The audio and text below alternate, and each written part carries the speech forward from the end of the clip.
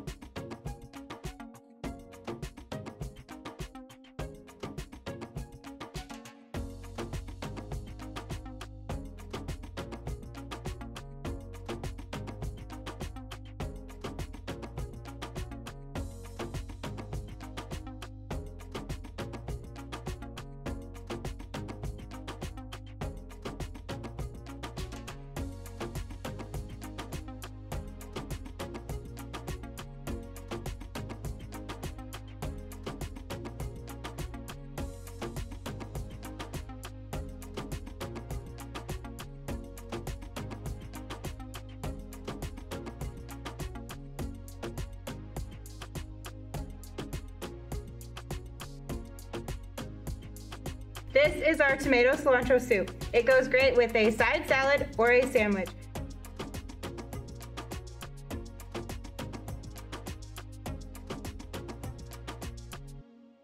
Eat, move, save.